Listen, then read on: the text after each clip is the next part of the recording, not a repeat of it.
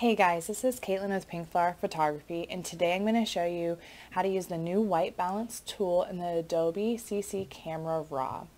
As you can see, um, this image is a little bit cool and this image is way too warm. So this is for those who did not um, set their white balance before taking the image and you just need to quickly fix them and move on.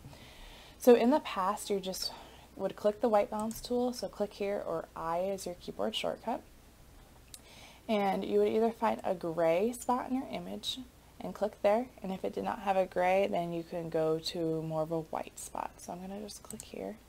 And as you can see it fixed um, the picture pretty well. I still think it's a little cool for my taste um, but it would work and it, I think it looks a lot better than before. So I'm gonna set it back how it was. So the new way to fix this that I think is a lot more accurate is you're just going to take your um, mouse, you're going to click your eyedropper tool and you're going to drag your marquee over an area that you want to take a reading from. So I'm going to go right here. And as you can see, it color corrected this image. It took a reading from this whole area that I put the marquee around um, and it gave me a white balance that was a little bit more of an average and more correct for that whole picture. So let's go to this next image. As you can see, again, this is way too warm. I know that the bubbles were white and that's going to be my closest point to take a reading. So I'm just going to click, drag, and go right here.